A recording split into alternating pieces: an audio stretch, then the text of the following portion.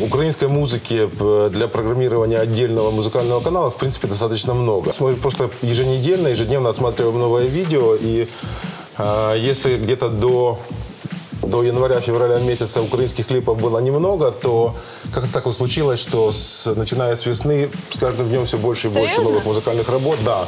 И они интересны. Я не могу сказать, что они все топового уровня там, по исполнению, по качеству и так далее, но но їх много і вони інтересні. Скажу чесно, поки що будемо намагатися брати всього по всіх по ну, різних жанрів по, потрошку, тому що ну, це досить важ, е, важка історія, коли ми маємо і багато рок-гуртів, і Так. багато поп-гуртів, і маємо виконавців, які співають ну, таку більш-менш ну, сучасну е, просунуту музику. Так.